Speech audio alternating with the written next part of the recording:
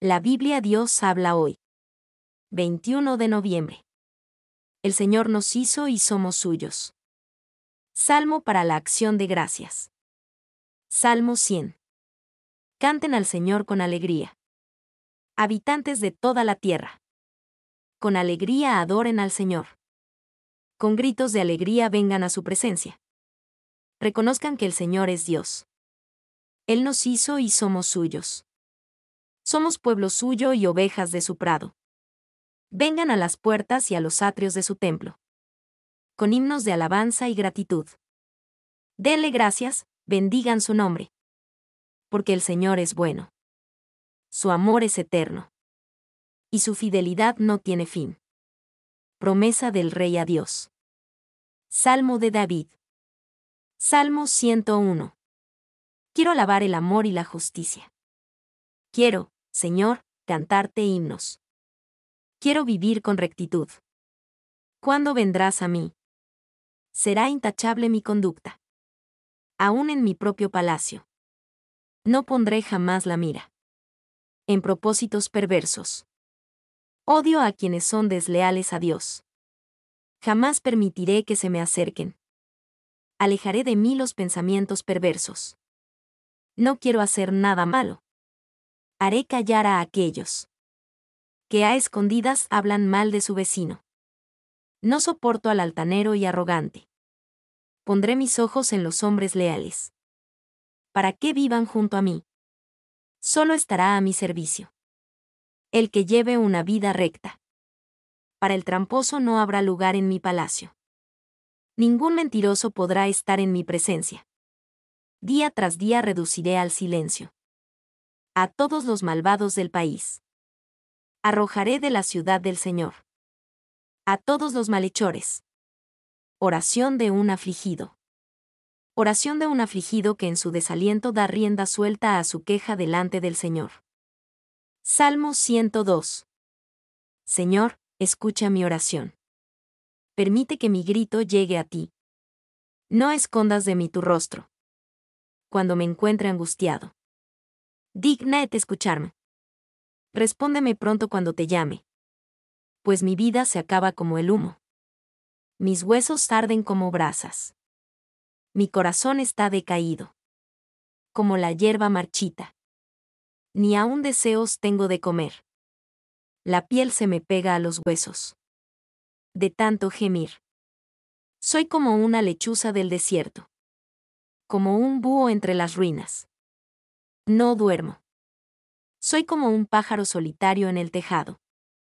Mis enemigos me ofenden sin cesar. Y usan mi nombre para maldecir. En vez de pan, como ceniza. En mi bebida se mezclan mis lágrimas. Por causa de tu enojo y tu furor. Pues me alzaste para derribarme después. Mis días pasan como una sombra. Me voy marchitando como la hierba. Pero tú, Señor, reinas por siempre. Tu nombre será siempre recordado. Levántate, compadécete de Sión. Pues ya se cumplió el tiempo. Ya es hora de que la perdones. Tus siervos aman sus piedras. Sienten dolor por sus ruinas. Todas las naciones y reyes de la tierra.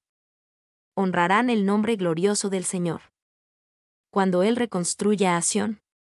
Y aparezca en su gloria cuando atienda a la oración del desamparado. Y no desoiga sus ruegos. Que esto quede escrito. Para las generaciones futuras. Para que alaben al Señor. Los que aún han de nacer. El Señor miró la tierra desde el cielo.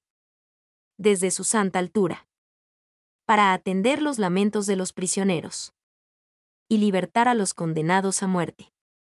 Para que en Sión, en Jerusalén, se proclame y se alabe el nombre del Señor.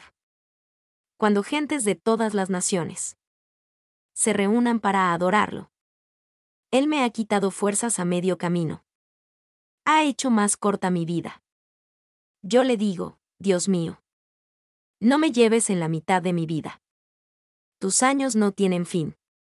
Afirmaste la tierra desde el principio. Tú mismo hiciste el cielo todo ello dejará de existir. Pero tú permaneces firme. Todo ello se gastará, como la ropa. Tú lo cambiarás y quedará cambiado. Como quien se cambia de ropa.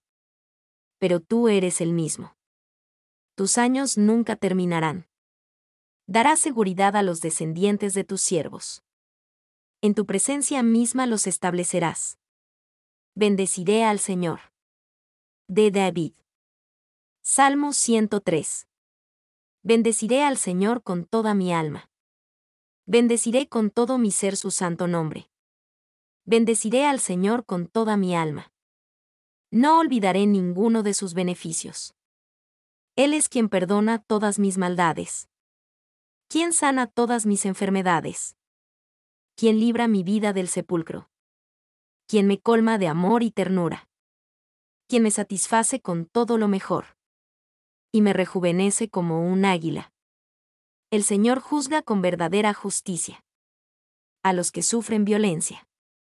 Dio a conocer sus caminos y sus hechos. A Moisés y al pueblo de Israel. El Señor es tierno y compasivo. Es paciente y todo amor. No nos reprende en todo tiempo ni su rencor es eterno. No nos ha dado el pago que merecen. Nuestras maldades y pecados. Tan inmenso es su amor por los que lo honran como inmenso es el cielo sobre la tierra. Nuestros pecados ha alejado de nosotros. Como ha alejado del oriente el occidente. El Señor es, con los que lo honran. Tan tierno como un padre con sus hijos. Pues Él sabe de qué estamos hechos. Sabe bien que somos polvo. La vida del hombre es como la hierba. Brota como una flor silvestre. Tan pronto la azota el viento, deja de existir. Y nadie vuelve a saber de ella. Pero el amor del Señor es eterno.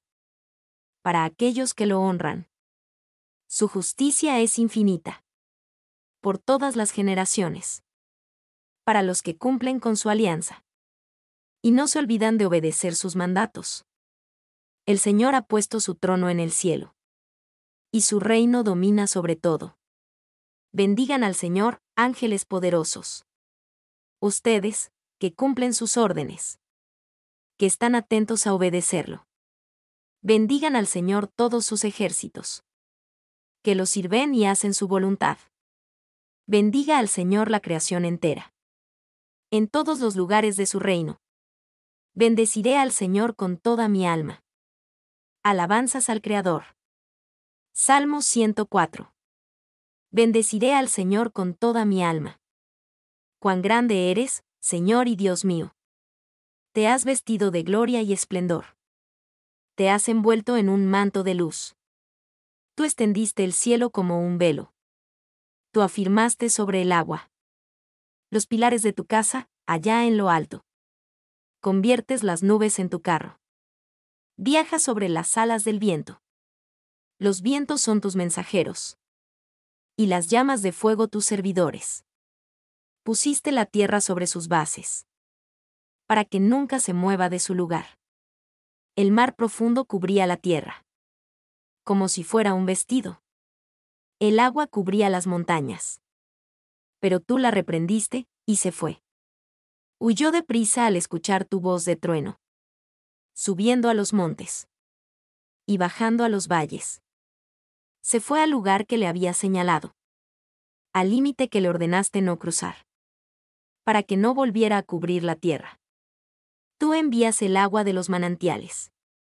A los ríos que corren por las montañas. De esa agua beben los animales salvajes. Con ella apagan su sed los asnos del monte. A la orilla de los ríos. Anidan las aves del cielo. Allí cantan, entre las ramas de los árboles. Tú eres quien riega los montes. Desde tu casa, allá en lo alto. Con los torrentes del cielo satisfaces a la tierra. Haces crecer los pastos para los animales. Y las plantas que el hombre cultiva. Para sacar su pan de la tierra. El pan que le da fuerzas. Y el vino, que alegra su vida. Y hace brillar su cara más que el aceite. Sacian su sed los árboles los cedros del Líbano que el Señor plantó. En ellos anidan las aves más pequeñas. Y en los pinos viven las cigüeñas. Los montes altos son para las cabras. Y en las peñas se esconden los tejones. Hiciste la luna para medir el tiempo. El sol sabe cuándo debe ocultarse. Tiendes el manto oscuro de la noche. Y entonces salen los animales del bosque. Los leones rugen por la víctima. Piden que Dios les dé su comida. Pero al salir el sol, se van. Y se acuestan en sus cuevas. Entonces sale el hombre a su labor. Y trabaja hasta la noche. ¿Cuántas cosas has hecho, Señor? Todas las hiciste con sabiduría. La tierra está llena de todo lo que has creado. Allí está el mar, ancho y extenso. Donde abundan incontables animales. Grandes y pequeños. Allí navegan los barcos, allí está el leviatán. El monstruo que hiciste para jugar con él. Todos ellos esperan de ti. Que les des su comida a su tiempo. Tú les das, y ellos recogen. Abres la mano, y se llenan de lo mejor. Si escondes tu rostro, se espantan. Si les quitas el aliento, mueren. Y vuelven a ser polvo. Pero si envías tu aliento de vida, son creados. Y así renuevas el aspecto de la tierra. La gloria del Señor es eterna. El Señor se alegra en su creación. La tierra tiembla cuando Él la mira. Echan humo los montes cuando Él los toca. Mientras yo exista y tenga vida. Cantaré himnos al Señor mi Dios. Quiere el Señor agradarse de mis pensamientos. Pues solo en el encuentro mi alegría. Que desaparezcan de la tierra los pecadores. Que dejen de existir los malvados. Bendeciré al Señor con toda mi alma. Aleluya. Proverbios 21.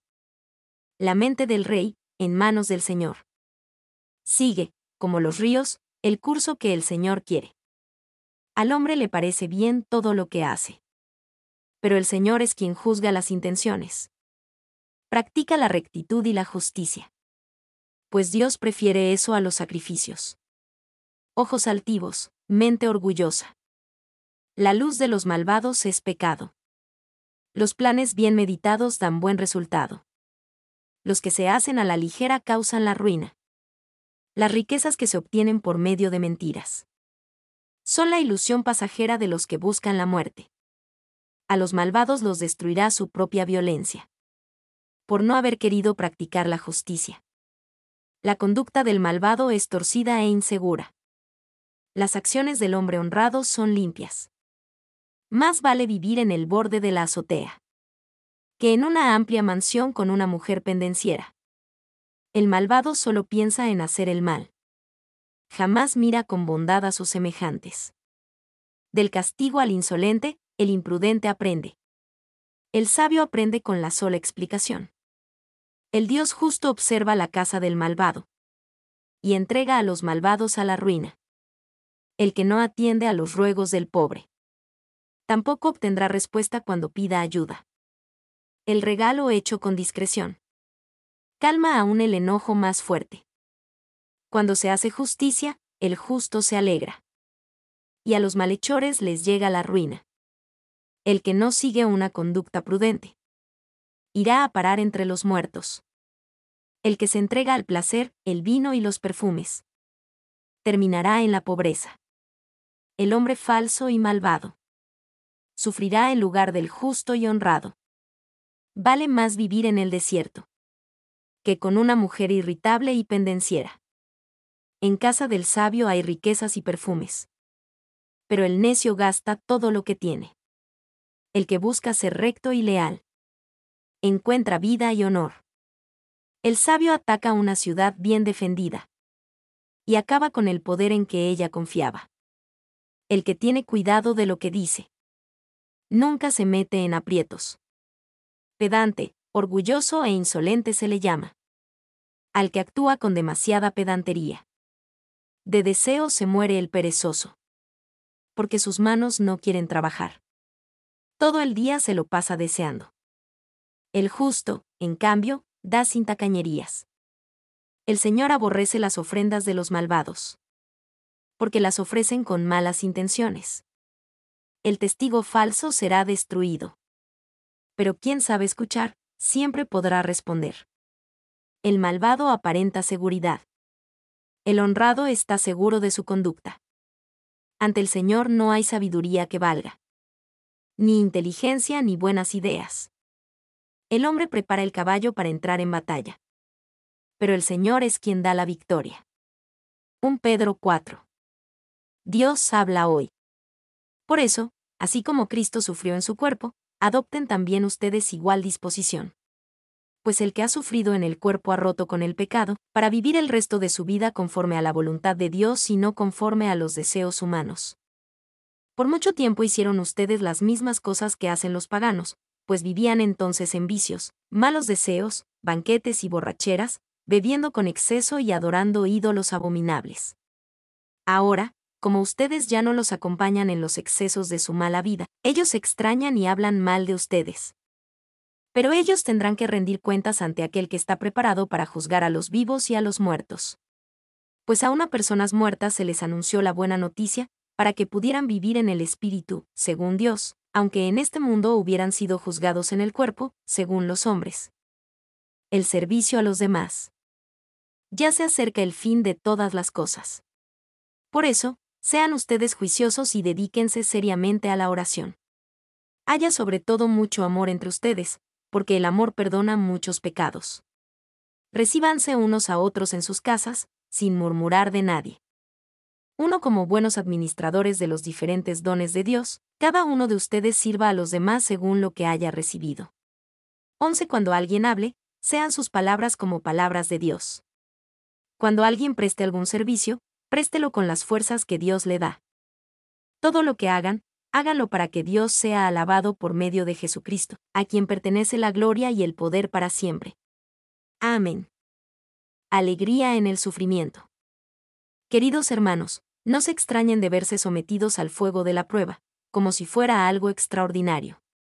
Al contrario, alégrense de tener parte en los sufrimientos de Cristo, para que también se llenen de alegría cuando su gloria se manifieste. Dichosos ustedes, si alguien los insulta por causa de Cristo, porque el glorioso Espíritu de Dios está continuamente sobre ustedes. Si alguno de ustedes sufre, que no sea por asesino, ladrón o criminal, ni por meterse en asuntos ajenos. Pero si sufre por ser cristiano, no debe avergonzarse, sino alabar a Dios por llevar ese nombre.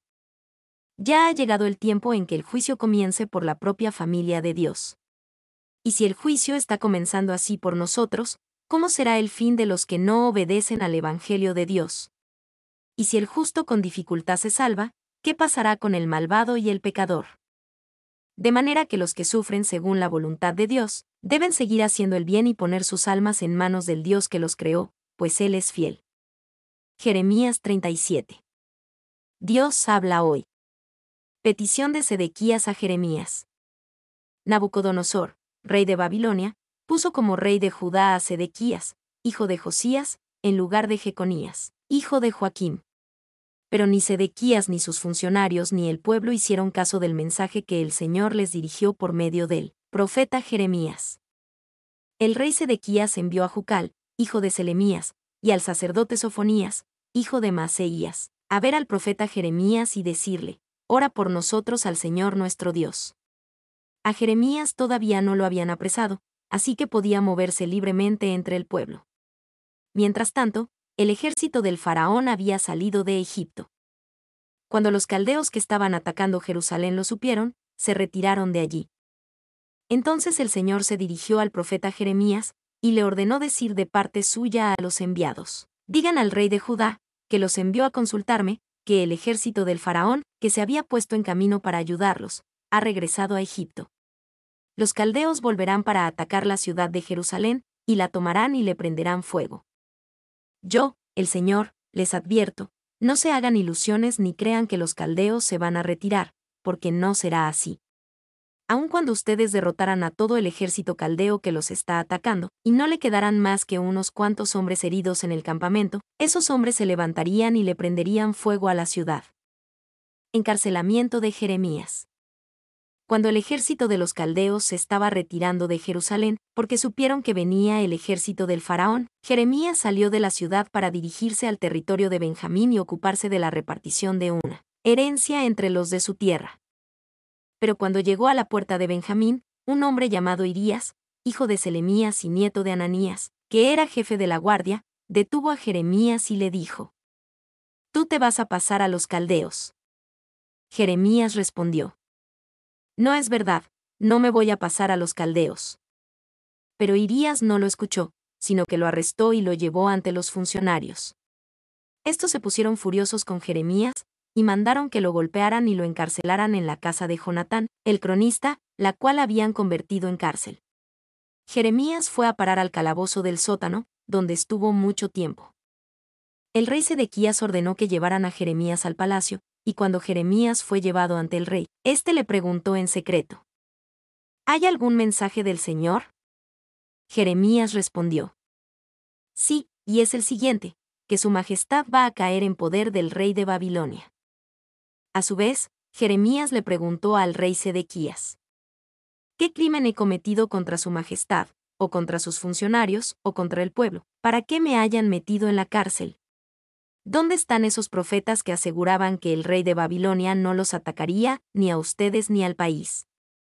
Escuche ahora su majestad, y concédame esta petición que le voy a hacer. No permita que me lleven otra vez a la casa de Jonatán, el cronista, no sea que yo muera ya.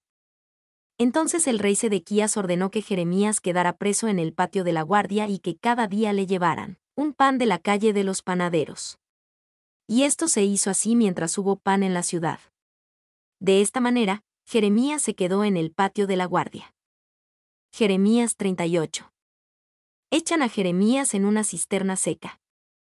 Cefatías, hijo de Matán, Gedalías, hijo de Pasur, Jucal, hijo de Selemías, y Pasur, hijo de Malquías, oyeron a Jeremías pronunciar ante el pueblo las siguientes palabras. El Señor dice, el que se quede en la ciudad morirá en la guerra o de hambre o de peste.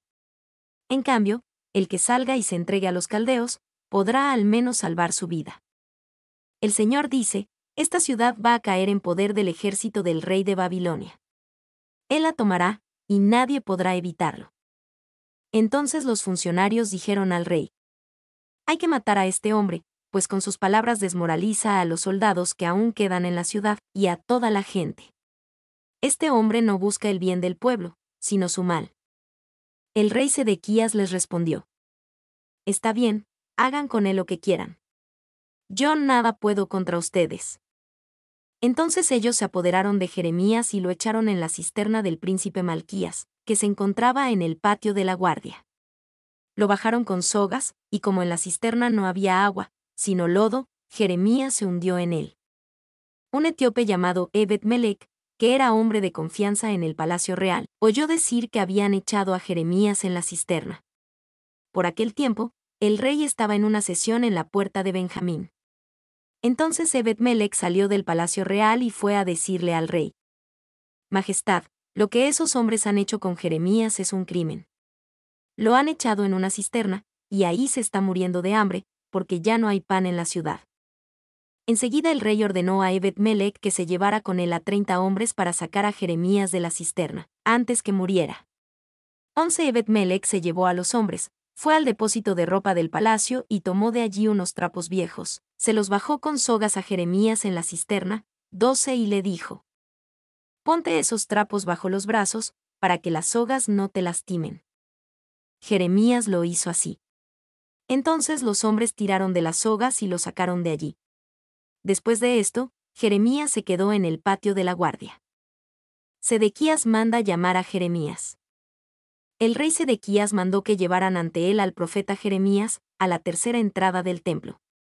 Allí el rey le dijo, Voy a hacerte una pregunta, y quiero que me contestes con toda franqueza. Jeremías le respondió, Si contesto la pregunta, su Majestad me mandará matar, y si le doy algún consejo, no me hará caso. Pero en secreto el rey Sedequías le hizo este juramento a Jeremías. Te juro por el Señor, que nos dio la vida, que no te mandaré matar ni te entregaré en manos de los que quieren matarte. Jeremías dijo entonces a Sedequías. El Señor Todopoderoso, el Dios de Israel, dice, si te entregas de una vez a los generales del rey de Babilonia, tú y tu familia salvarán la vida, y esta ciudad no será incendiada. Pero si no te entregas a ellos, los caldeos se apoderarán de la ciudad y le prenderán fuego, y tú no podrás escapar. Sedequías respondió. Tengo miedo de los judíos que se han pasado a los caldeos, si caigo en manos de ellos, me torturarán. Jeremías contestó. Pero su majestad no caerá en manos de ellos.